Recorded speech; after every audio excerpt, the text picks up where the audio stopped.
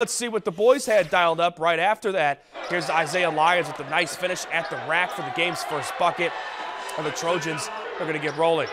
Jalen Freeman picks the pocket, an easy deuce for the senior. But Hayden, they'll find their rhythm. Cooper Kalbeck is going to go the length of the floor. It's going to drop. Nicely done. It's 7 to 6 T high. Now here he is again. He's going to miss the runner, but Connor Hanika is going to grab the loose change and another difficult finish.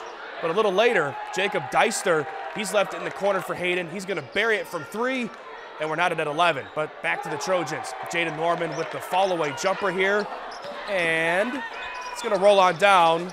Uh, eventually, there we go. Final play. Norman threads the needle to Freeman, 19 to 11 T high. Trojans snag dub, 63 49.